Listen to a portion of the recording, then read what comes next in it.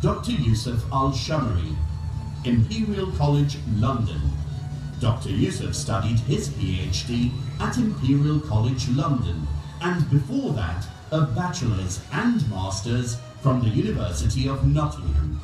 These experiences shaped his background as a professional chemical engineer and enabled him to make many groundbreaking achievements as a young Saudi scientist.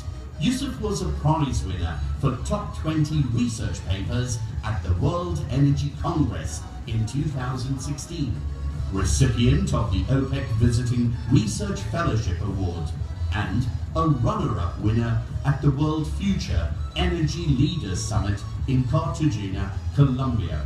Yousef's time in London gave him the opportunity to work with globally leading scientists and to be a member of leading institutions, including Chatham House and the Energy Institute.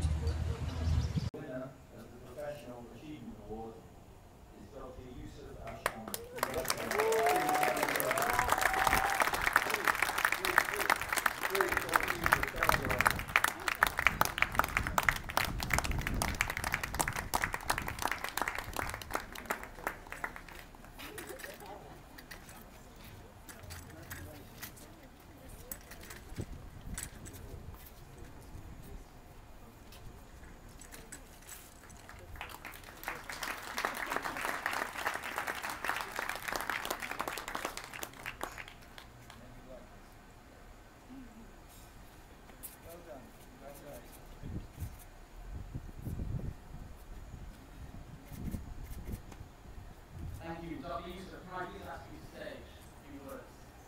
Thank you very much. Uh, I am very delighted to be at this prestigious ceremony. I thank the British Embassy and the British Council for organizing such a wonderful event that I will remember all my lifetime. I am hugely honored to receive the Alumni Awards for Professional Achievement. Actually, this recognition is not only for me. I consider this recognition for all the Saudi youth and also to the international energy community. Thank you very much. I also would like to thank my country for sponsoring me to study in the United Kingdom. I would like to thank my the universities where I studied, the Imperial College London, the University of Nottingham, my professors, friends, and my family, and everyone who helped help me to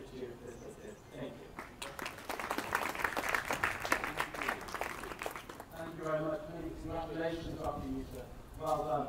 But as Dr. Hani said, all finalists are high achievers and winners. And I would like to ask all the finalists for the professional achievement categories, please come on the stage to receive their certificates.